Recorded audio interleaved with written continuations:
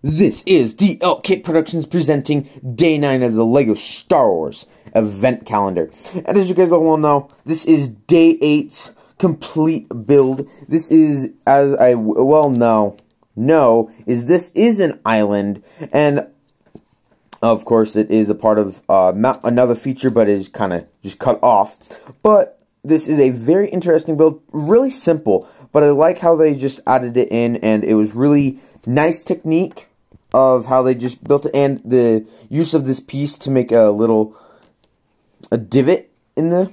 So it looks makes it look more rock formation which I find very cool.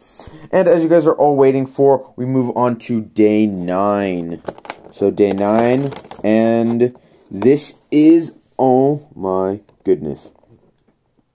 I bet you guys can guess who that is. Yup, it is him. It is him.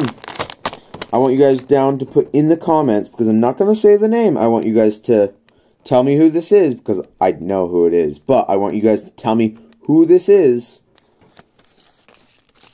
Okay? And this is the character bag.